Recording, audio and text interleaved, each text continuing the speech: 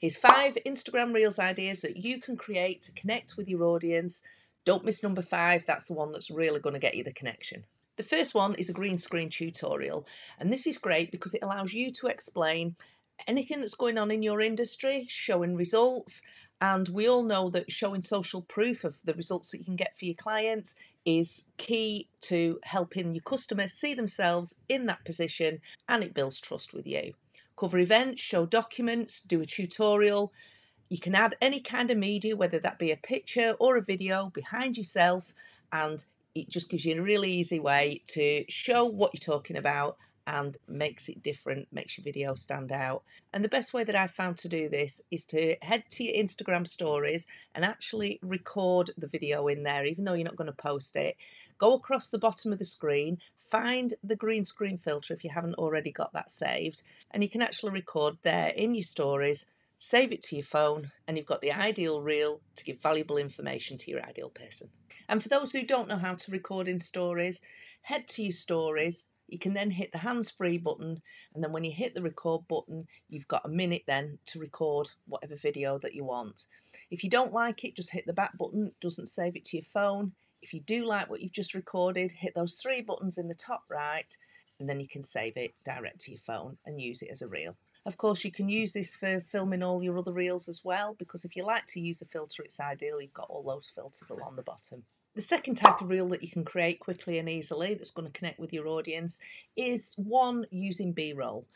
B roll is video that you take on your phone of other things round and about when you're doing your jobs during the day, all sorts of things, even going to the supermarket, unpacking your car, in your office, walking the dogs, whatever.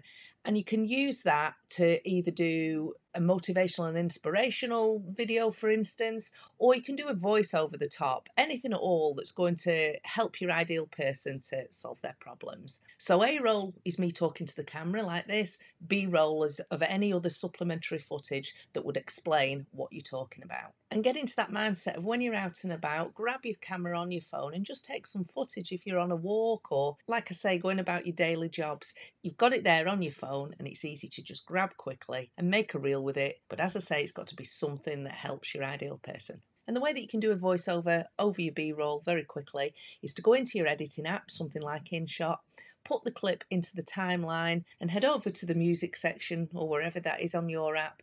And there you can see the voiceover. You tap the voiceover button, away you speak, it goes over the top of your clip, and you've got a valuable reel. The third type of reel that you can use to stand out in the newsfeed and connect with your audience is to use something like Videoleap, where you can grab a template and just basically add your own media in there. Swipe through the templates, see which one you like, which music vibes with you, add your own clips, and you can create a really eye catching video. Again, it's got to be of interest to that ideal person, but use it in a way that tells a story, that helps them in some way, that shows them what's possible, and it's one to have stored in your back pocket at times when you haven't got a lot time to spare. You can just go into Videoleap, grab one of those templates, add your media, and away you go. And those templates are also ideal for showcasing your products if you produce or sell products. Don't just show us the product though. Show us the product, show us how it benefits us, how it helps us, how it's going to improve our life. The fourth kind of reel is great, especially if you're wanting to tell a story, and that is to head over to Canva and use their stock footage of video. When we're creating a video, we want to be evoking some kind of emotion. Emotions are going to get reactions from your audience, whether that's a like, a share, a comment, whatever. We want them to feel something. If your video is a story about how you were feeling, maybe you've been stressed, maybe you've been feeling imposter syndrome, maybe you're happy, whatever that emotion is, in Canva, you can actually search for whatever you want to find in that stock footage. That could be something like a child that's happy or a woman that's stressed. Type that in and you'll get all sorts of ideas come up. Create a canvas that's 9 by 16, drag your footage onto that, and then you can download it and add it into your editing app. You can use that footage along with you with a talking head video like I have done in this video that breaks it up and explains things as I'm talking. Or again, you can add the different clips into the timeline and do a voiceover as we said earlier.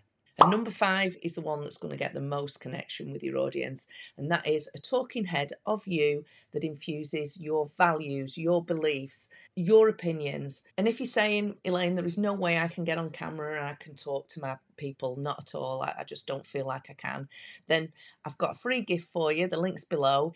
It's a 40 page confidence on video journal and it will really help you to move past those confidence blocks because there is no better way than connecting with your audience when they see your face, hear your voice, your mannerisms, everything about you. It creates that trust, and without the trust, you're not going to get conversions to sales. So grab that free journal below, do the work, and it will really help you. It's what I needed when I struggled to get on camera. I know exactly how you feel. That's going to get the right people to you, repel the wrong ones. You could be giving a tip, you could be doing a tutorial, you could be a thought reversal, showing them a different way with something, but something that is infusing your personality, whether that's showing your humour, the way you do things, something that's going to call in your tribe.